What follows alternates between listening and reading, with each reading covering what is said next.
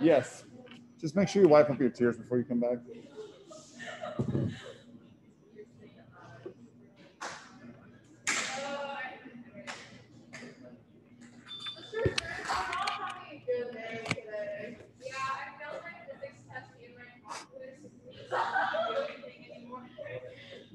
What is the meaning of life? Okay.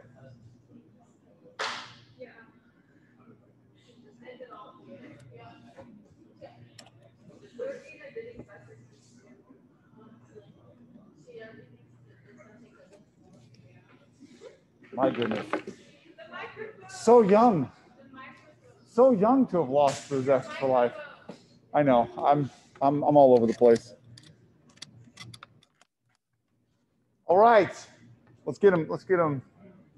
Why is this like this? Stop that. Okay.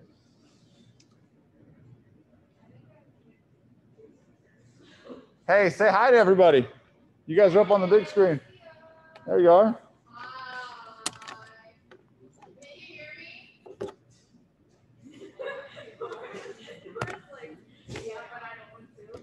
She's like, I...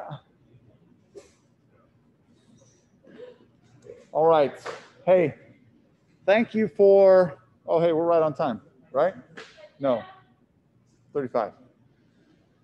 Whew, sorry, it takes a few minutes to get everything reset. Welcome. Hey, happy Monday to everybody. Uh, just right off the top, so no doubt you saw some grades go in. Um, I still have other quiz grades to put in. I thought they went in. They didn't sync. I don't know what's going on. Uh, I'm looking at that later today. So other quiz grades are going in. Um, test grades went in. We're not going to look at those tests today. If you want to talk after class, we can uh, we, we can chat a, a little bit about that, but not too bad. Um, this week we do have a test. I pushed it from Wednesday to Friday. Okay, so it's going to be on Friday. I decided not to put it on. I'm not. I didn't put it on next Monday because I know some of you have a calc test and there's other things. Uh, so basically, the, the week is going to go like this. We're going to do a little bit of review today. We're going to do a lesson today.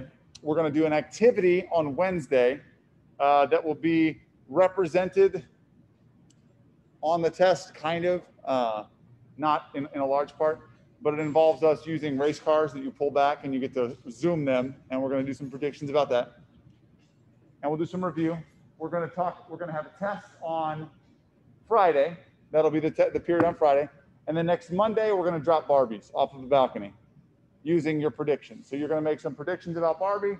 We're going to drop them off um, and see how good your predictions were or if I'm going to be buying new Barbies. Okay?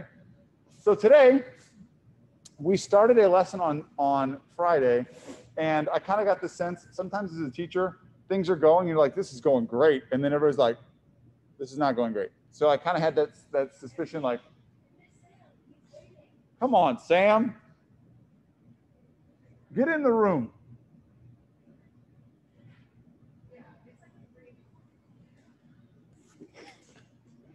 All right.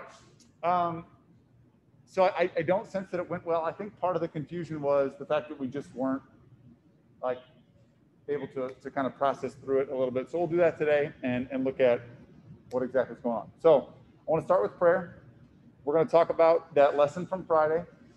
We're going to do a little bit of review time and then we'll move on to the next day. Like it's going to be that's it. All right? Questions about that? Let's pray. God, we thank you for today. Thanks for waking us up for gorgeous weather. Lord, thank you for the dedication. I pray that as we are wrapping up this quarter, God, it would just go well.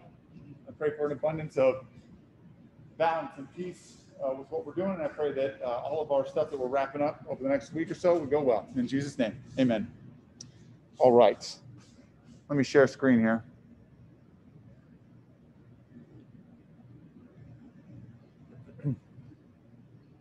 Why?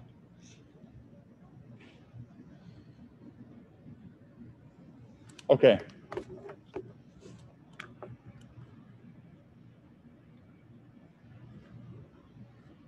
I'm not really sure how to make this happen.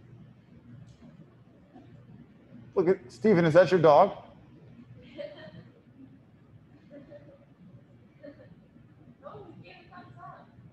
That's his dog. Look at that dog. What's the dog's name? Thumbs up again. Dog's name is thumbs up.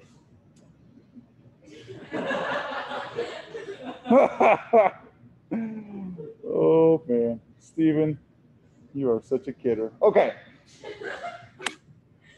So I I can't. I don't I, I can't.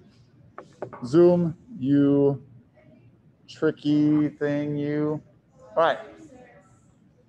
Yes. Frank the Tank.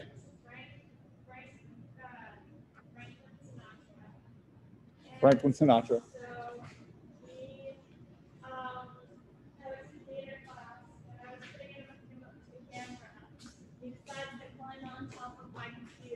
Just despicable.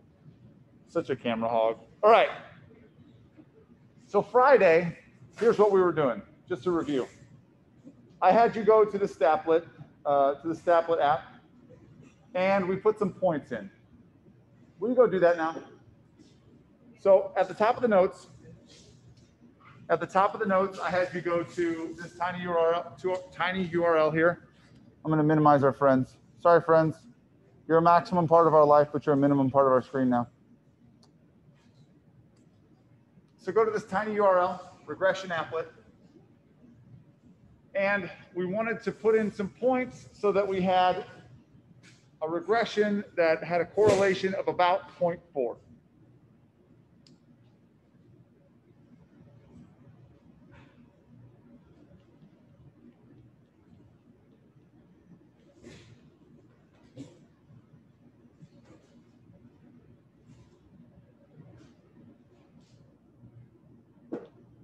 All right. So we had this regression.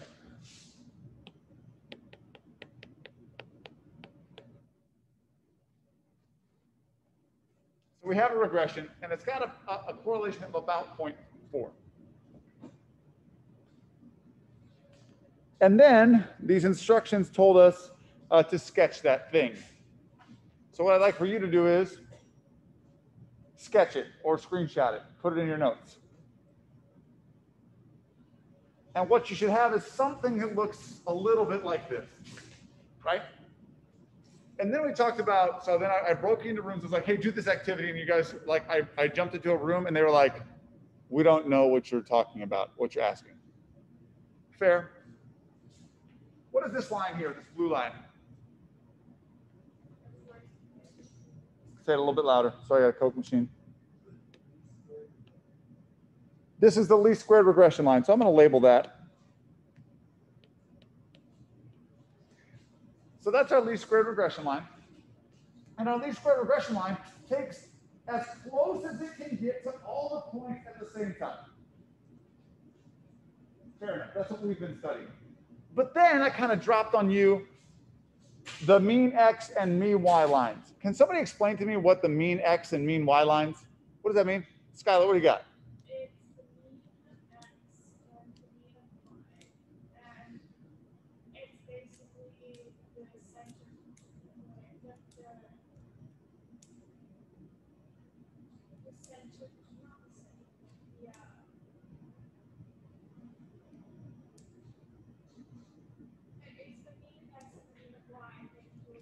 It's it's hard to it's hard to kind of verbalize it. But yeah, what do you got, Miller?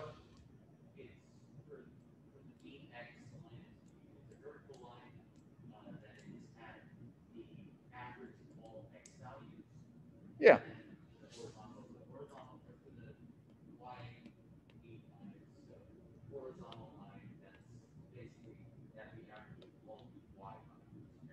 Exactly. Yeah. So it's the mean of x and the mean of y. So every single one of these points has an x coordinate and a y coordinate. If we laid out all the x coordinates and we found the mean of that value, we'd put the x mean there. We lay out all the y coordinates and we find the mean and we put the mean there and they intersect. Now, what did we notice about the least squared regression line in relationship to mean x, mean y? Skylar.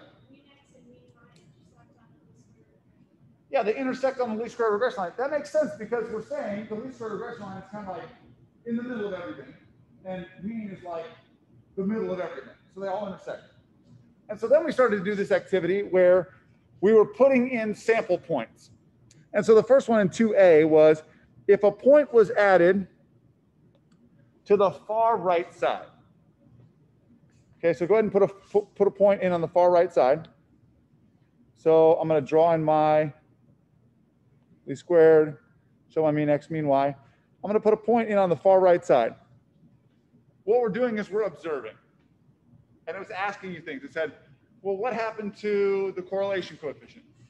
What happened to the y-intercept? What happened to the slope? And you did it, you're, you're doing a, like a, an, exploration into this. Did you finish it? I actually want to check in. So I want you to get into at least partners, if not threes, and check in and see if you didn't finish this, like what does it do in all these? So for two, A, B, C, and D, I'd like for you to check in and, and do it. If you did, I want you to verify your answer. So I'm going to give you about three minutes, four minutes to do this. So go ahead and check in with your people, identify your people, and fill in how does the least squared regression line react slope-wise, intercept-wise, and correlation-wise when you put different points into the correlation in various places.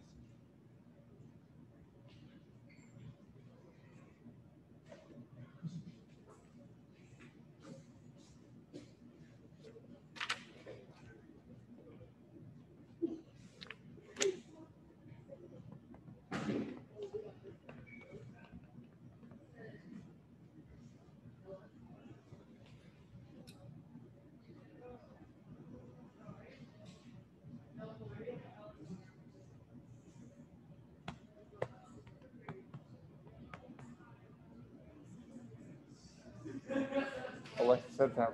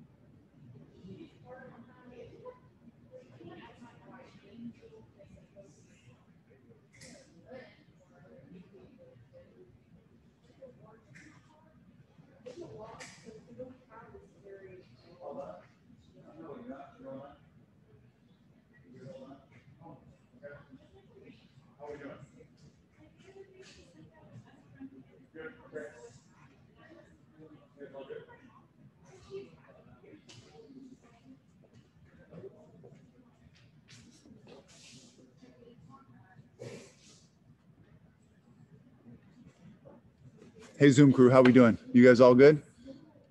Or you need time? Steven's dog is giving me the thumbs up. Thumbs up from thumbs up. Got it. Perfect.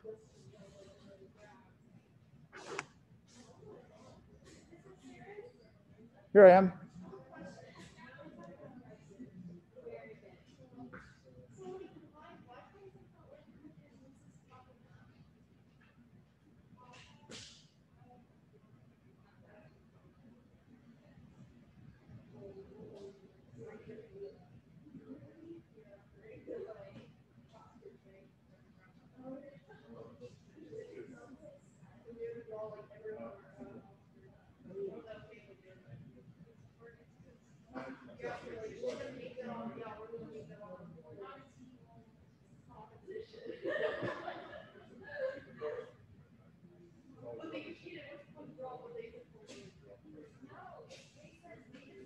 All right, here we go. Let's check in.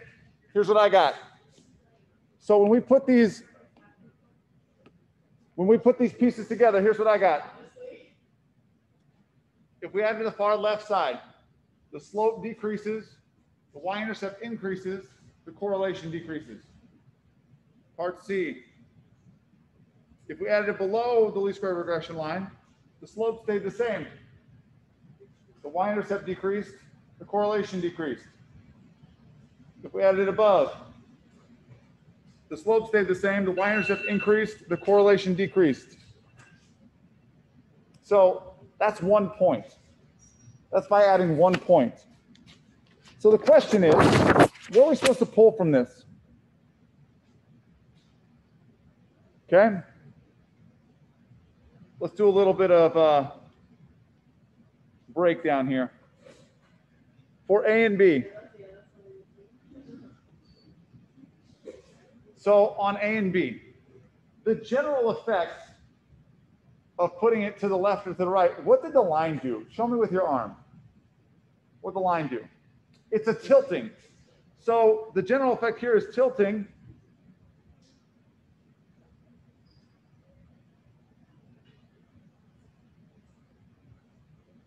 So it was a tilting on the X bar, Y bar line.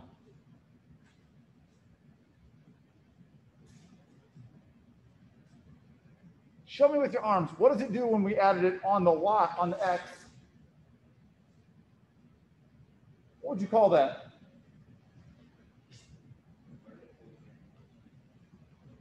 Yeah, I'm going to go less technical, but yes, it is a vertical translation. So it's either up or down. So we could say it lifts or pulls.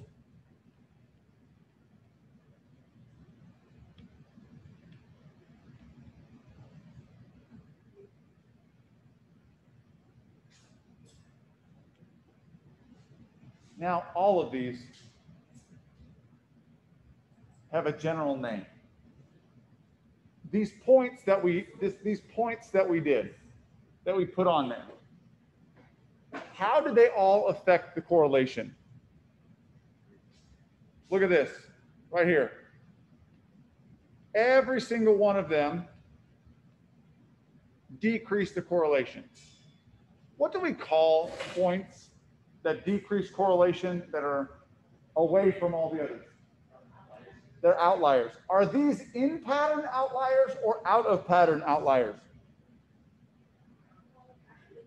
Okay, so you're probably guessing out of pattern. So what would make it an in pattern outlier? So check this out. So let's just say, I'm to take this one. I'm to, I'm to pull it back in here if it'll let me. It won't let me. Clear.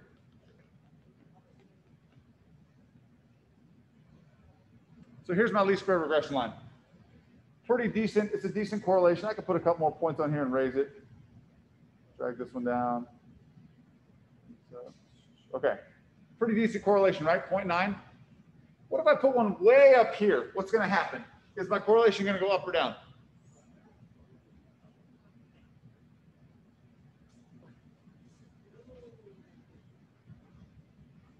So if I have one that's far out, but it's going to be close to the line, if I keep drawing the line, that's called an in pattern outlier.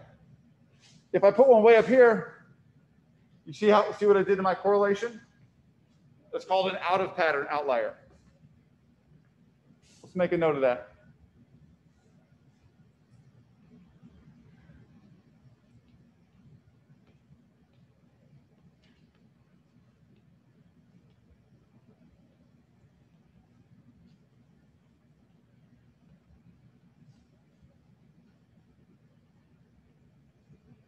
An in pattern outlier is one that's following with the general trend of the line.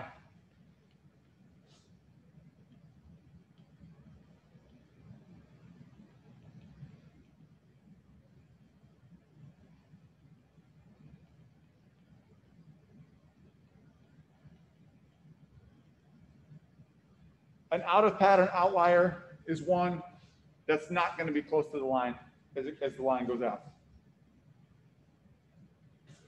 Sorry, I'm zooming all over the place here.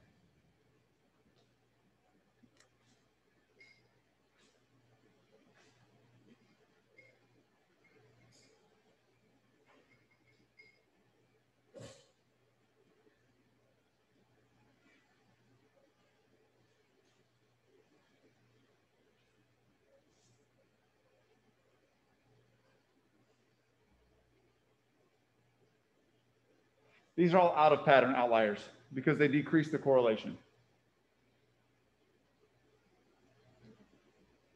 You're never going to have to fill out a chart like this on the AP test. So why do it? A question that they might ask is they might say something like this. here's your data. Here's your plot. It might say something like this. A point is added at 10, 1. How does this affect the least squared regression line? They might ask you that. And so you've got to be able to think, okay, if I theoretically put a point there, is it going to tilt it? Is it going to tip it? Is it going to shift it up and down? They're going to ask you, well, how does that affect your y-intercept? How does it affect your slope? What does it do to the correlation of your least squared regression line? Does that make sense? All right. So let's do it. Let's let's generalize some things here. What do you think? Which outliers had the greatest effect on the least squared regression line? Vertical or horizontal outliers? Horizontal. Why?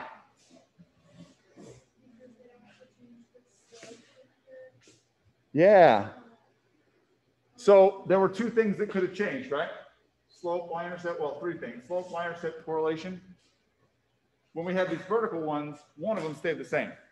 Slope stayed the same. So we'd say horizontal.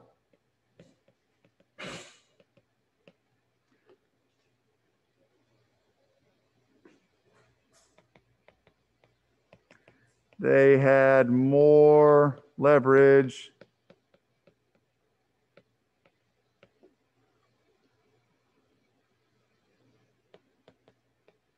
since they are to the left and right of x bar, y bar on the plot. Moving up. They have more leverage since they're to the left and right of x bar, comma y bar on that plot.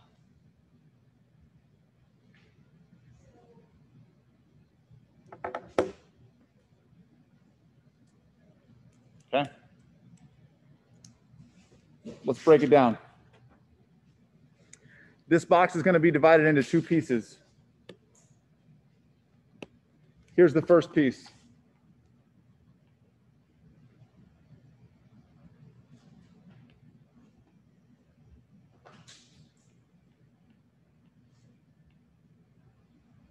There's my least squared regression line.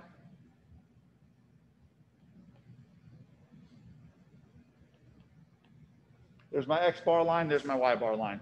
And those, you can remember like X equals and Y equals line, X equals line goes up and down, Y equals lines go side to side. Right here is X bar, Y bar. I would be remiss if I didn't put some points in here. Okay, there's our, there's our points. And so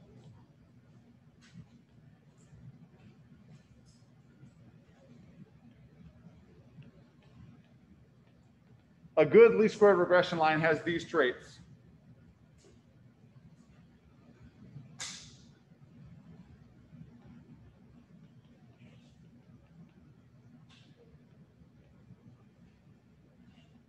Low S and a high R squared. What is S? I mean, because we've got a test this week. I mean, because you want to know this in general for your life. What is S? Standard deviation of what? of the residuals, which means that the residuals are closer to the line than they are farther away. High, farther away means higher residual, right? So a good least square regression line gets really close to the points or as, as close as possible. Here's the second piece of this box.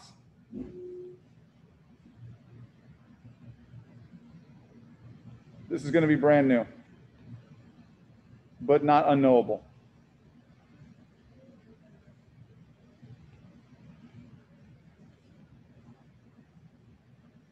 least squared regression line. Here is an equation for the least squared regression line. Kind of looks like what you've seen before, new coefficients. So the least squared regression line, what does y hat mean again? Predicted y. Very important to put predicted. In fact, in the rubric on many, many, many of the questions from this particular unit, you get docked an entire point if you don't say predicted value. Okay? So predict value is equal to b sub 0 plus b sub 1 times x. This looks like the slope intercept form. And just to be clear, This is our y-intercept. And this is our slope. So what are those values? I'm so glad you asked. To find b sub 1, you are going to take r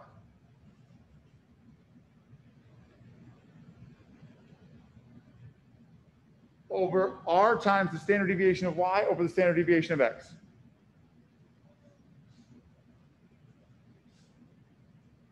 b sub 0 is equal to y bar minus b sub 1 times x bar.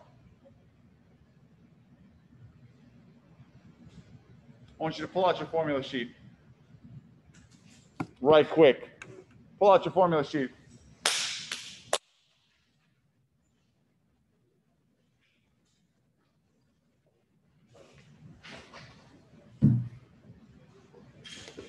Pull out your formula sheets. I want you to take a peek through. Yes. Oh, yes. Delivery day. No, that's on the way. Gro yeah, grocery pickup today. Grocery pickup is today. That is another surprise, but for everyone, not for you. No, better. I mean, the shirts are awesome, but this is better. Friday. All right, what do you, so through your formula sheet. So through your formula sheet. Part of my problem, I have always had this criticism of math class. I'm a math teacher. I've been doing this for 12 years, so I feel like I can have this criticism. Formulas are brutal because you never need them in real life, and when you need them, you can find them if you're going to use them in real life. So, do you need to know the distance formula? For math class, you do. Do I ever need to know the distance formula? Am I ever going to be without it if I ever really need it in my life? And the advent of the smartphone has made this even worse. However, formulas in statistics I love because look on your sheet. What do you see? Do you see these formulas on there?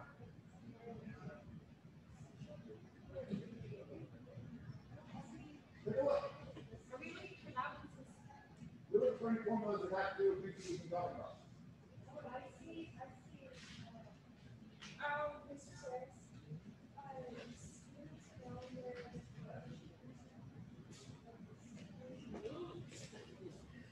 Stephen. There should be one on, I think I posted it on the, oh, he texted you. I think we posted on, on Canvas.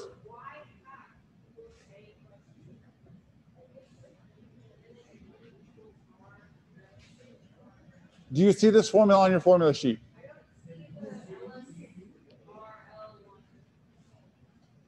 What page are you on? Take a look. Right here. Right here, under descriptive statistics, in the very first section. Okay? Yeah. Now, is it labeled exactly like I labeled it? No, they actually, that's the problem. So now they don't necessarily tell you what formula it is, but they give you the formula. So you got to kind of put this together. So that's why I make such a big deal about y hat. So they actually put this in there. They give you these formulas. And a lot of times, here's what a question on your AP test is going to look like. Given here's the standard deviation of x, here's the standard deviation of y, here's the correlation, write the, write the equation for the least square regression line. Can you do that? So you're going to have these pieces. In fact, we're about to do it right now on this check your understanding. So what I'd like for you to do is get back in your groups, I'd like for you to work on this check your understanding. At the very bottom is probably the most important piece of the of the of the whole example. It's going to be writing a least square regression line. I guarantee you, look at my face. I guarantee you you're going to have to do this on your test. This week for this chapter. You're going to have to write the least square regression line from the standard deviation and knowing the means.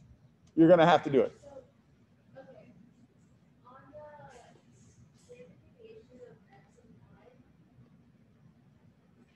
Yeah. How, so let's say you don't have the standard deviation of x and y. Where did you get that? A lot of times what they're going to give you is they will either give you, so down here they actually give you the standard deviation. A lot of times they'll give you like XY list, all the data. You do one var stats. Yeah, got it. Okay. So from a list, you can pull out the one var stats to get standard deviation, to get the mean, and then you can construct the least square regression line. Okay?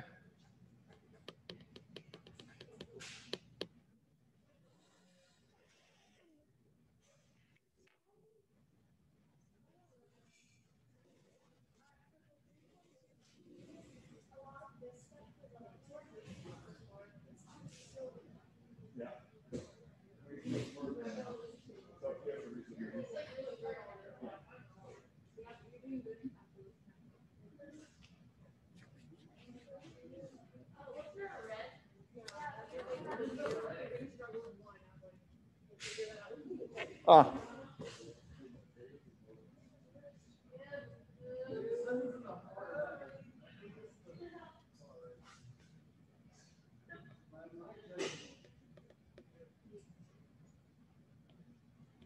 Does this help? Yeah, Cleveland and LA are the two cities that they're looking for.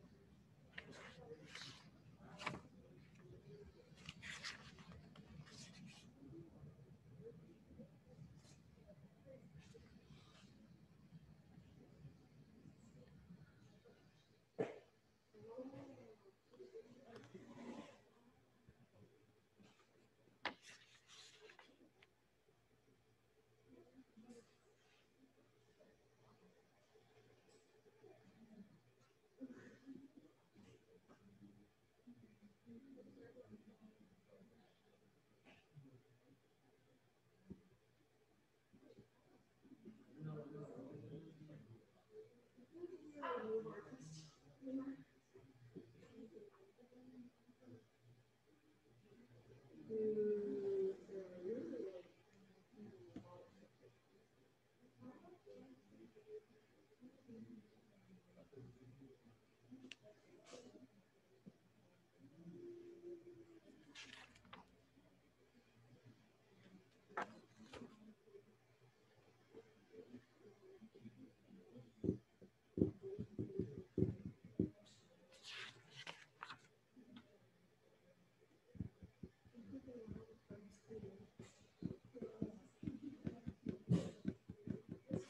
Yes.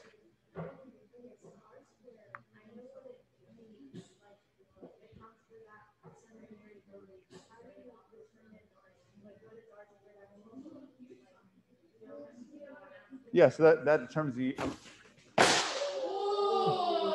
you think it broke? I'm not gonna look at it. I'm not looking at it. I'm not looking at it. So, so R squared is the amount of variability. Don't look at it. Don't look at it. I don't want to know. I don't want to know. I don't want to know.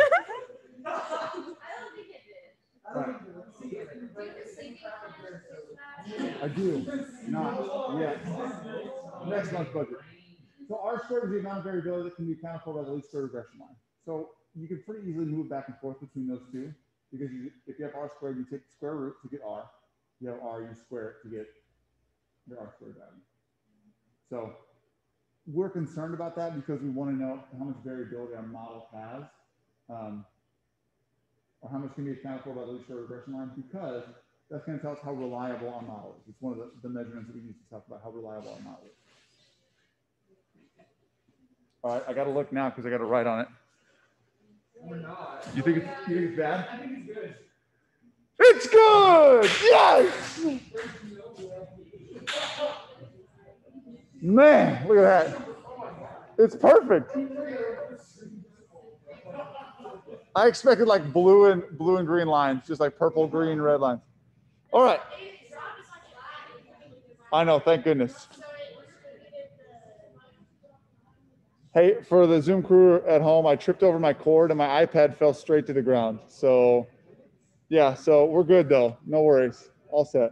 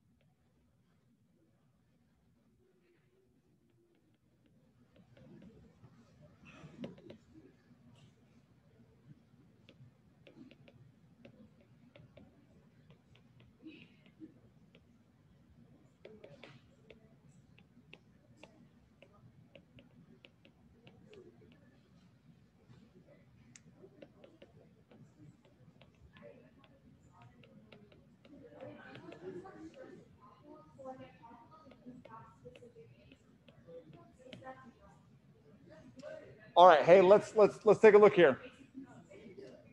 So I made a couple of statements. Um, one of the things that I want to re-emphasize in having graded your tests, and we're not going to talk about them this week. We're heading into another test. We need to be sure that we are providing context and we are being extra careful to say this is what it is. So, for example, quite a few of you on the test said something like this: "You calculated a per- perfectly calculated the z-score." Perfect. And then it said interpret the z-score. And the z-score was, let's say, 3.8. No, that's bad. 1.6. Interpreting the z-score, so you're perfectly telling me, I'm like, yes, got it. And then you said, it is 1.6 above the mean. Now, close, close, but not specific enough. It is 1.6 standard deviations above the mean of whatever it is. Okay. No, but but no, you don't have to. But being ultra specific is okay. So here we go.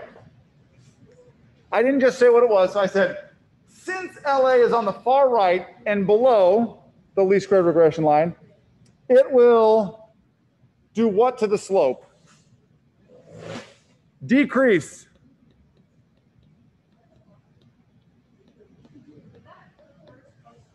Yes, this is A. It's going to decrease the slope. And if it decreases the slope, watch. If it decreases the slope, what does it do to the y-intercept?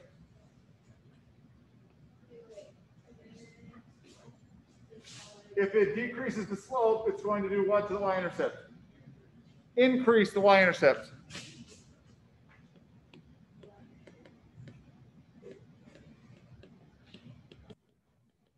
So decrease the slope, increase the y-intercept. Part parte B, because Cleveland has a large residual. It has a large residual. Do you agree with that? Visually, what? How do I model residual visually? Like, what does that mean? Yeah, so Katie says it's the distance from y. I agree. So Cleveland has a large residual.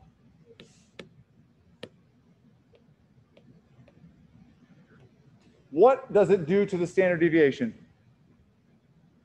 Does it make it bigger or smaller?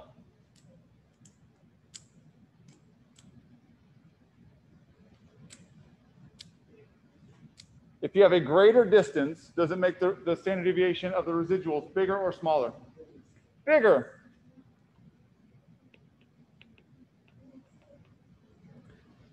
And it makes r squared.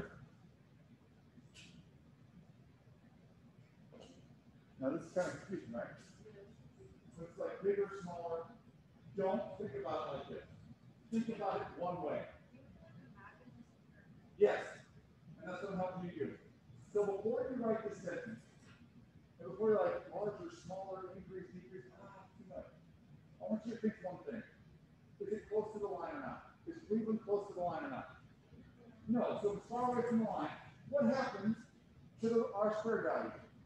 It, it has to go down. Why does it have to go down? Yes, yes. The line is not as close. The correlation goes down. So the correlation goes down. The amount of variability it accounted for also goes down.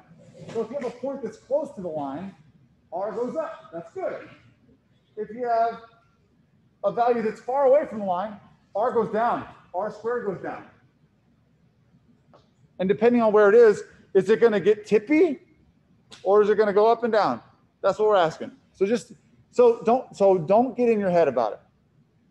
Just look and see. Is it close to where the line is or where it might be?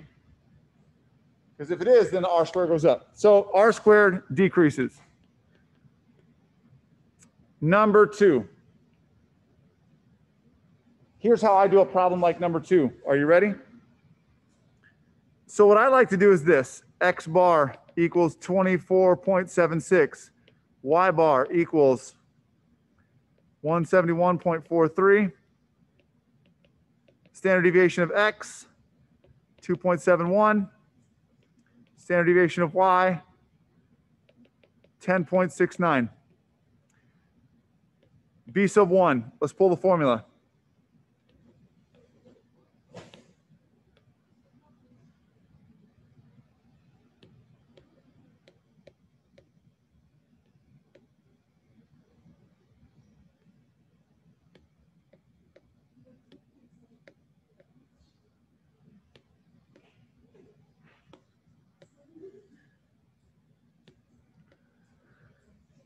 Check it out. I'm telling you up front, you're going to have to be able to do this. So if I have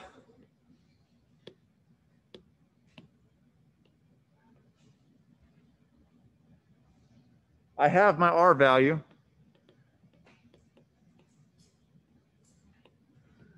This is just plug in the formula. I have my R value, I have my SY, I have my SX. So to find V sub one, just plug in the values. So this is going to be 0.697 times 10.69 over 2.71, and that's equal to 2.75. There you go. There's my slope.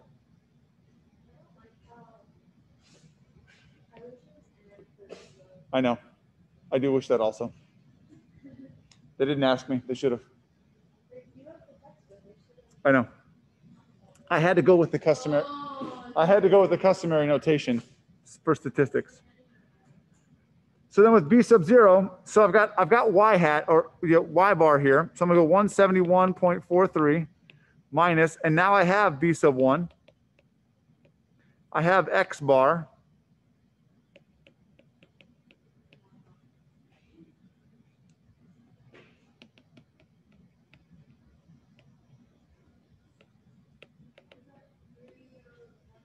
One hundred three point three four. That's just from plugging in things and stuff. Super specific there.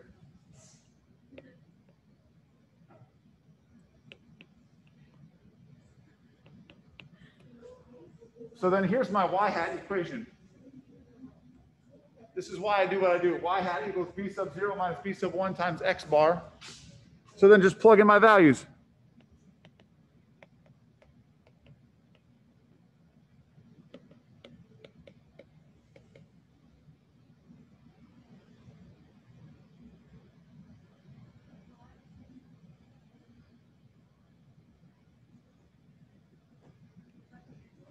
Yeah. Answer.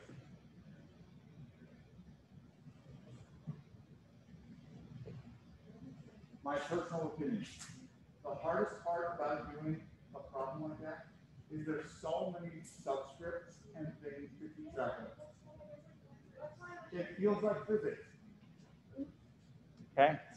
And so that's why I told you at the very beginning when we started this problem, I lay out, I like to lay out everything that I have. Pull it all out of the problem. I have it all. And then I calculate my B sub one. I calculate, and then so then I've got my formula. Got my formula, I fill it out. I've got my formula, I fill it out. I write what I actually want for my equation, and then I fill that in. So it takes longer than it probably should because all you're doing is plugging in, but you got to keep the pieces straight. Anybody in physics out there feel me? I got all the numbers. I don't know what to do with them. Yes. Okay. You know what I'm saying. All right. Questions about that? Yeah. What? Yeah.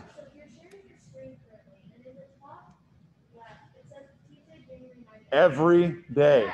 Every, I don't know. I have no idea. So my iPad says that, but when I exit out, it is the current time. Like the time is correct. Yeah, we were talking about it in physics on Friday. It said the exact same thing. We're like, why is it saying? Really? It says the same thing every time? Yeah. That is so odd. I don't know. Yes. Mask break. Yes. Mask break. We'll be back at 12:30. Coming at you.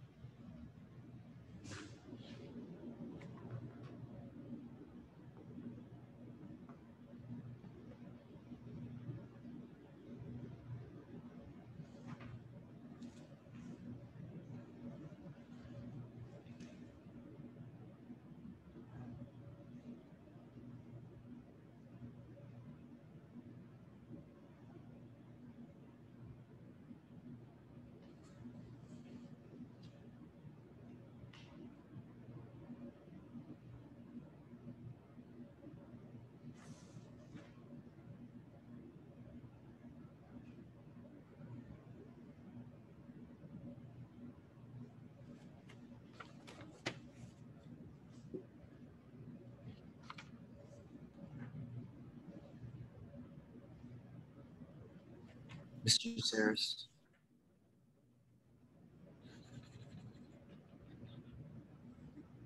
Mr. Saris.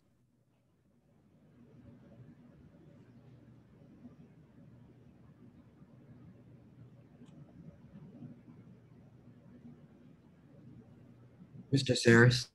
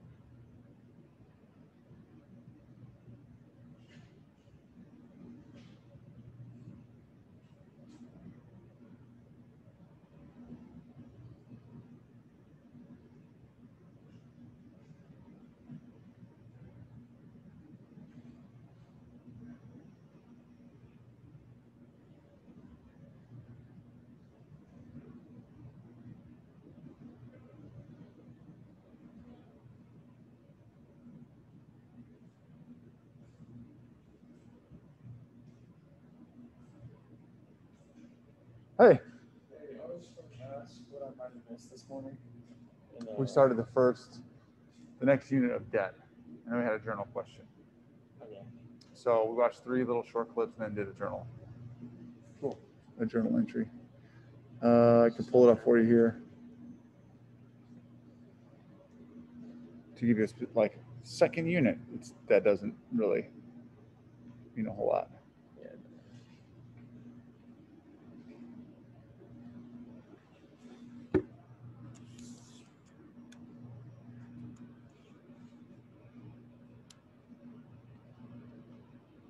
So we walk in the hospital, right? Because that's where the uh, appointment is. Yeah.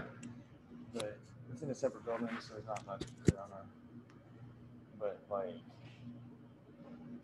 we walk in, my mom has to stand in front of this like iPad thing, and it scans her temperature. No way.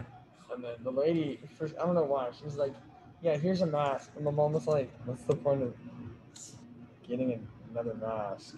I have one of those. The lady was touching it. We were like, "Wait, what?" Mm, You're like, um, Personally, I don't, I don't care. But I was just like, that just defeats the purpose. they made me, they made me wear, I had one on.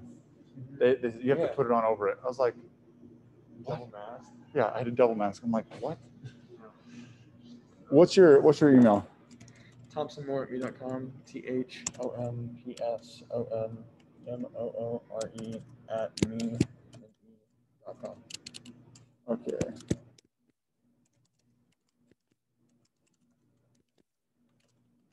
I'm just gonna send you a screenshot of the module that we did. Okay. And the that one is the journal question.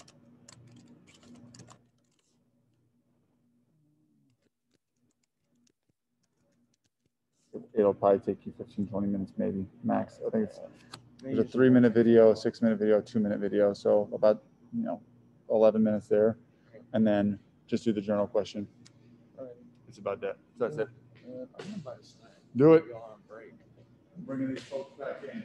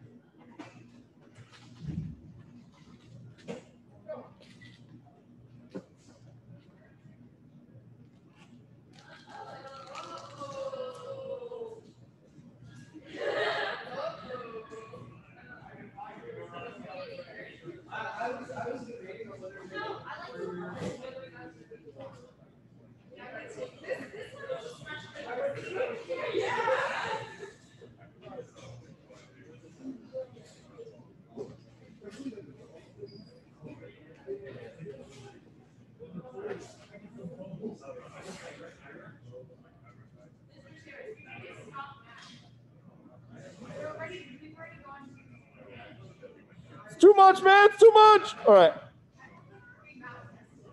Okay. So we already did this lesson. We already did this lesson. We're gonna we're gonna revisit it. What I'd like for you to do right now is take this iPhone data from previous, and I'd like for you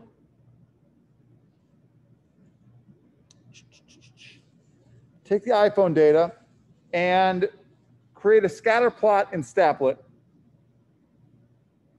and drop a screenshot of that below.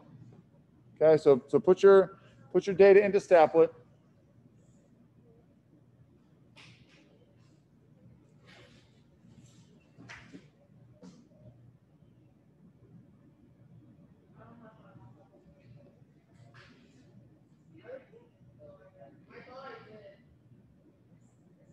Yes. What's it? Is it not working at all?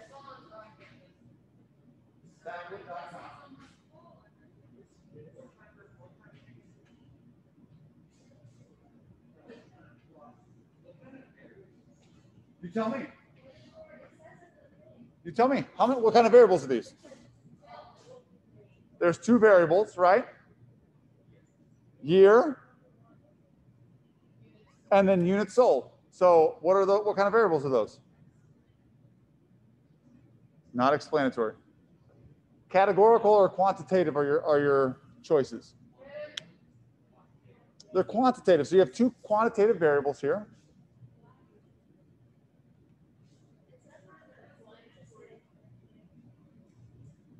It says what?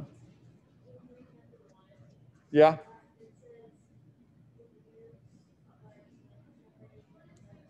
Yep. Yeah, it does tell you. So years.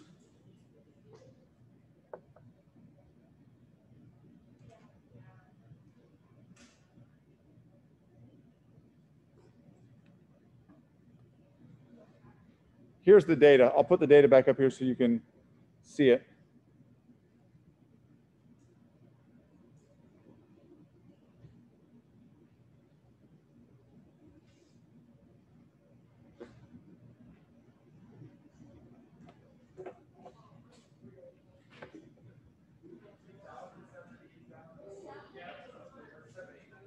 So use use the years since. Yeah, use years since. It'll make it easier. So in this case, it's years since or years after 2000.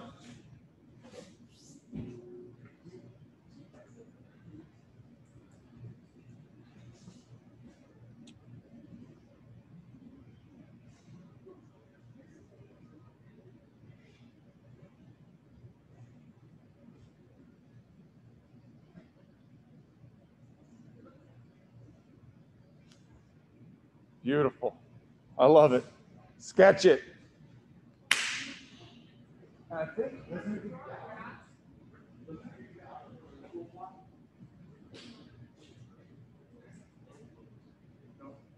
like to think that it's uh, not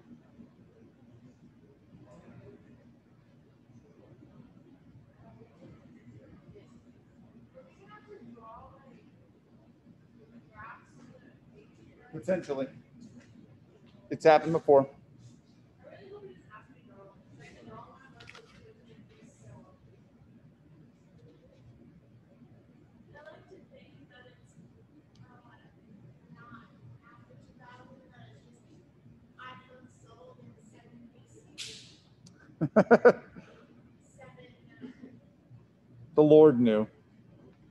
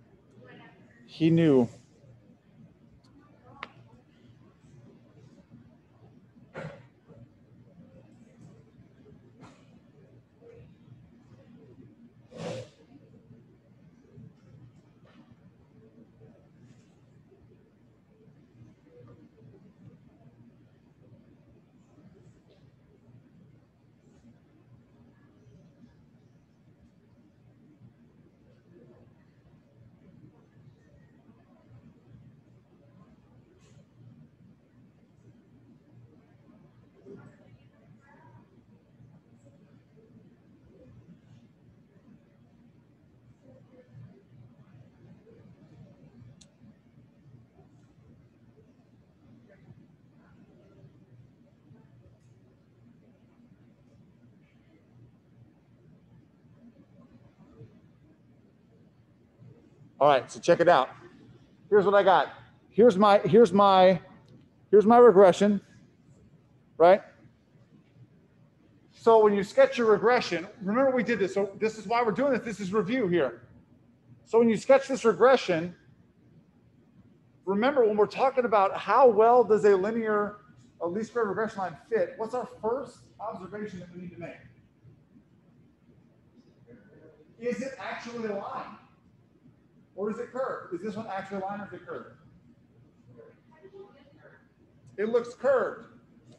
So then here's the, it's it's liney. So then what I did was begin analysis. So or calculate correlation, I think is what it said. So then I calculated the correlation and check out my residual plot. Look at this. I want you to give me a thumbs up if you think this is good, a good residual plot for a line, or a bad residual plot for a line. Okay? So, but the problem is, here's where people get hung up, right? They get this value right here. They get an R value of 0.956 and they go, but Mr. Saris, the R value is really high. It's good. Why is this not a good fit? Because the first, the first thing you check is how liney is it? Is it a line? And maybe you think, well, I mean, it's, fairly liney. I mean, I've, seen less lining things, but it's not bad. And the second thing you look at is the R value. You're like, well, I wasn't sure, but now, I mean, it's 0.95. That seems pretty good. And then I say the third thing should be the residual plot. What does a good residual plot look like for a good least squared regression line for linear data? It looks not like this. We call it random scatter. Is this random scatter? No, because we got this fat thing in the middle, this fat gap in the middle where everything's below. And so what we'd say is this is kind of a an arc, and it's bad. It's a bad pattern of residuals for a line. Yeah, everywhere. So what would make this a good residual plot? Let's just say hypothetically, there were two extra points in here. Would that make it a good residual plot? Yeah. But because there's this pattern, positive, negative, positive, we got to say, ah, no, not really a good, not really a good plot for a line.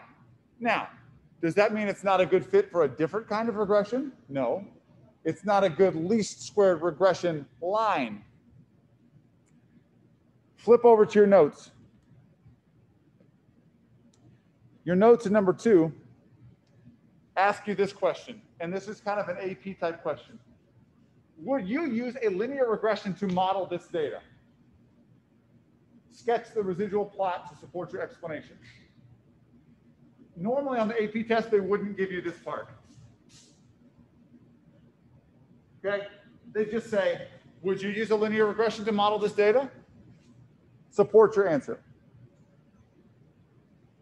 So you could say something like this, like in this case, you'd say, no, check out this residual plot. The residual plot has a positive, negative, positive pattern, which tells me that a line would not fit. If it was the other way, you could say, hey, the least regression model, the residual plot has good random scatter. It has a high R value. It looks like a line. Good. And so for number two, we'd say no, because our residual plot does not have a good pattern. It doesn't have random scatter. So what do you think in number three? Since we expect the data is nonlinear, we can make a linear, we cannot make a linear regression. However, we can transform the data to make it more linear. But first we need to decide what type of function you think it is. Who's got an idea? What do you think it is? Maybe quadratic? Does it go top like this? We got half of that, so exponential is probably a better fit. Let's write exponential. I'm not going to write in highlighter though.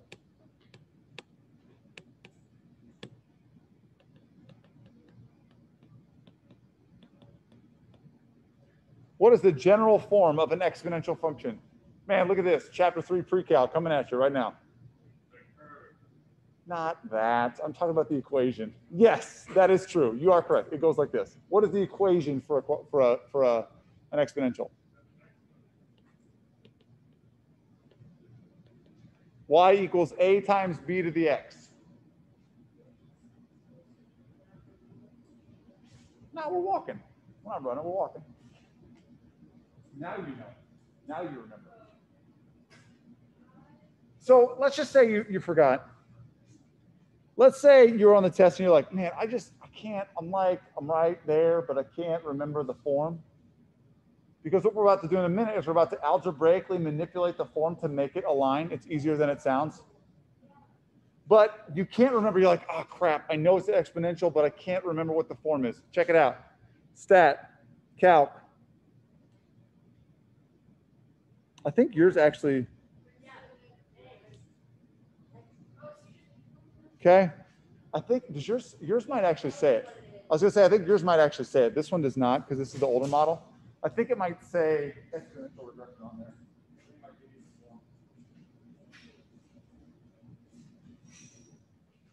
It might give it to you after the fact. I wonder if I have, yeah, here. When you run that regression, check it out. Oh, I'm screen sharing. Hold on. Check it out. If I can, you see how it gives you the form? Okay.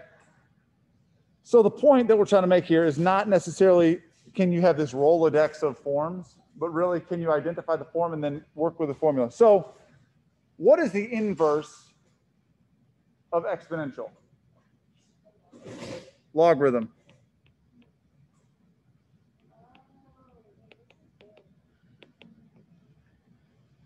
So this is going to be, this is review right here.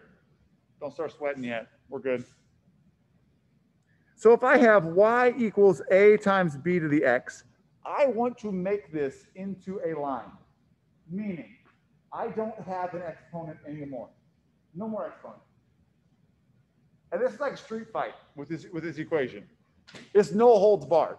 So you can use anything to undo anything. How do I undo? How do I get something out of the exponent? I've already identified its logarithm. But how does logarithm work? Well, if you remember, I could take the log of both sides.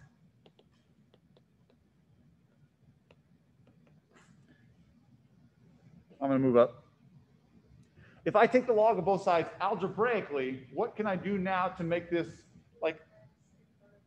Yeah, so this becomes log y equals x log a times b.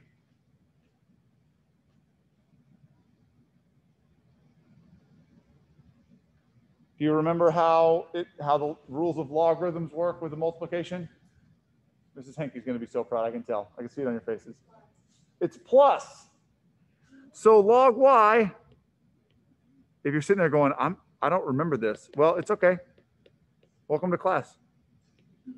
I'm teaching you right now. So here it is. When you take the logarithm of a product, you can split it into the logarithm of the first times the logarithm of the second. Check this out, man. This is like this is like advanced level maneuvers here. Look at this.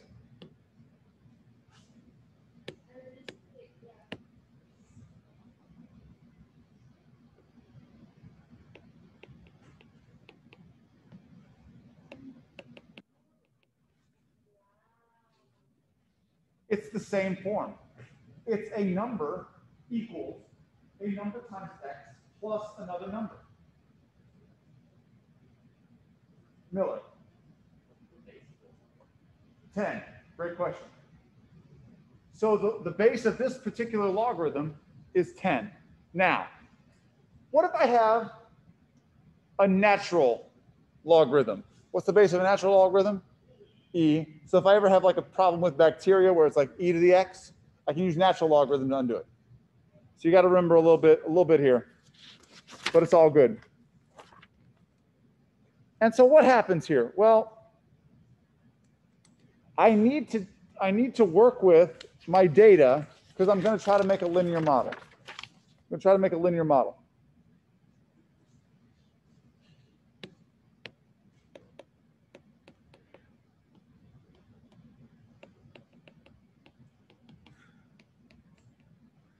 We're going to take the log of the units sold. Check it out. Log of y. y was units sold. So take the log of units sold. And I'm going to cut to the chase here.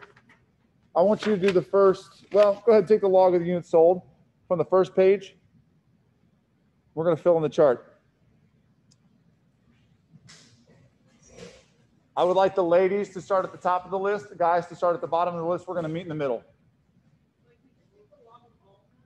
Yeah, you literally take the log. So because because this was y hat equals a plus b to a, a, a plus bx, we're going to take the log of the units sold. So ladies start at the top. Gents start with the 13. Yeah. What'd you get?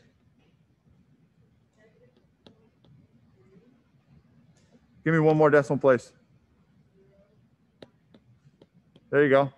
What's the next one?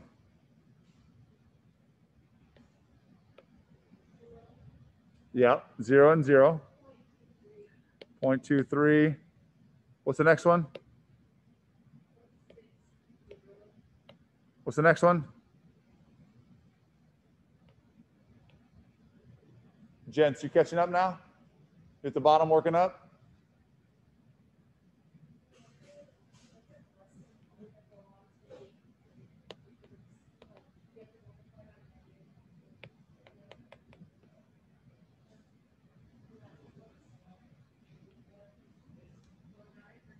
So here's the here's the data that we got. So here's the data that we now have. What I'd like for you to do is jump back over to Stapplet. And let's see, did this work? Were we able to make a line? What's that? Nine.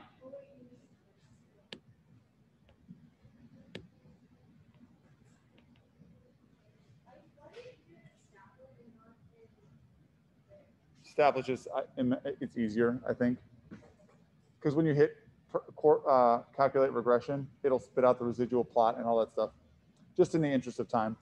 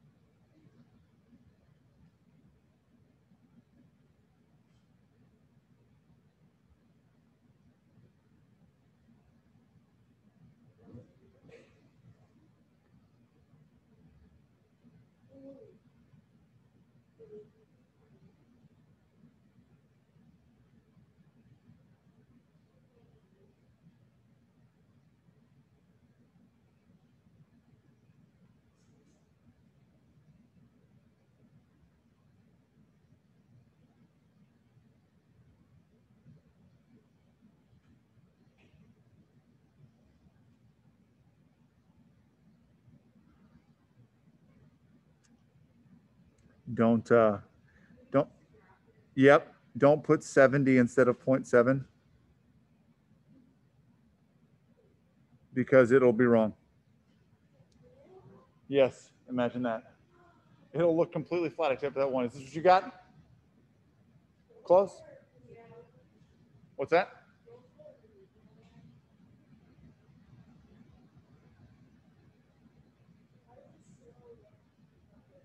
So check it out. So when we put in the data, the new data, where we took the logarithm. So what, like, I always wanted this, this part. Who thinks to do this? Like, why do this? What is the point of this? Okay, great question. We've been studying how to do a linear regression, a least squared regression line. And so we can't really make good predictions on an exponential function. Why? Because we don't know how. And so what we're doing is we're taking least squared regression line, which we know how to figure out is it a good line? How strong is it? Do an analysis of it. We're, we're able to make any data fit into this least squared regression line. So we just created the framework, this whole chapter. So Carson can tell me, is it a good line? How strong is the regression? What does the analysis look like? He can write that out. But the second I give him an exponential function, he's like, yeah, I'm out. I got nothing. Because we haven't done that. And so we created this whole framework for deciding, is it good? Can I make a prediction? And then all of a sudden he can make a prediction about whether Barbie's going to smash her head open. Great. Exponential can't do it. So we have this whole box. We can put everything in and do it. Now we're taking, saying, hey, take this little kind of data, change it a little bit, and now you can now you can do all that stuff with it. Take this one down here that's quadratic. Now you can do that with it. Take this one that's over here exponential. Now you can do it. And so with a small step of algebra and a little bit of understanding, we can now fit every kind of data into the box that we already know how to do. Does that make sense? Yeah. Why didn't it work? Or did it? What do you think? But Mr. Saris, now there's a negative, positive, negative, positive, negative. Here's the here's the trick. You're always going to be able to find a pattern. You so hold on, hold on, hold on, hold on, hold on, hold on. It's a three-part pattern. That's it's a three-part pattern. That's the problem. Positive, negative, positive is a problem. This is not a problem. This is good. Okay? This is good. What are you confused about? Wait, so that's a bad. This is good. This is good. That's what I'm saying. It's not three parts. What is five parts? No good. No, five, five, no, no good. No, five, you don't, you don't use a five part analysis. You don't use a five part breakup. What I'm saying is you could always go positive, negative. There's always going to be something. So you're looking for one that only has three parts, So it needs to be three groups. three groups. You're looking for one that's three groups. What if it's like all positive and then negative? Yeah. All positive and negative. That's, that's, so three or less, I should say. Yes, because it would be four is okay. Five is okay. Six is okay. Seven is okay. Eight's okay. Nine's okay. Ten's okay. 92, just fine. Just fine. So this one is good. Okay? This one is good. Now, let's look at what the actually least square regression line is going to look like.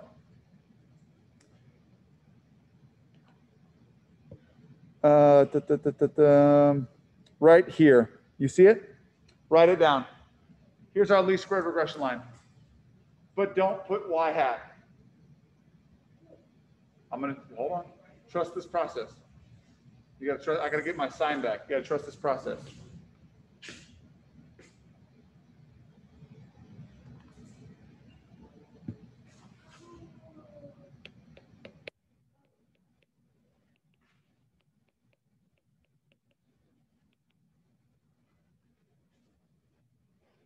It's sort of a y hat. The problem is, what if I asked you to make a prediction about year 22? When you put 22 in here, what is it going to spit out? It's going to spit out the log of the units sold. And so to be abundantly clear and correct, you have to say predicted log units sold. You always have to check to make sure if I put a data value to make a prediction in, am I going to get out what I actually want? No. The answer is no, you're not. You're going to get out the log of what you actually want in this case, but not what you actually want. So, do we think the regression line is good? Yes. Residual plot shows good scatter.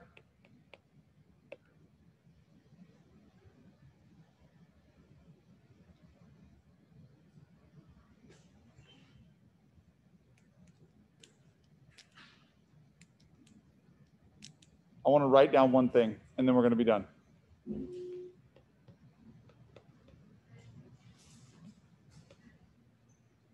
Yes.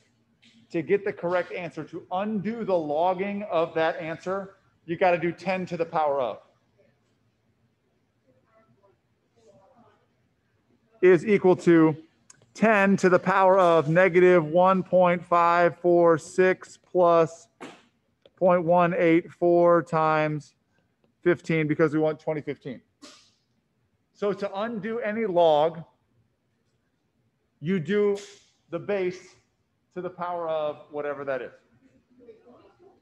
Yeah.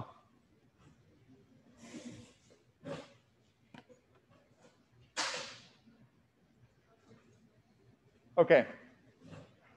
Your homework for next time is to start the chapter review in your book. So do the FRAPPY. So do the FRAPPY. Do the FRAPPY and do the chapter three uh, AP practice test. I'm not collecting it. If you get stuck, that's okay. We're going to talk about it. But do the FRAPPY and the chapter three AP practice test. Okay? All right. You guys are amazing. Thanks for sticking with me. We'll see you. Zoom crew. We out. Email me if you have questions, okay?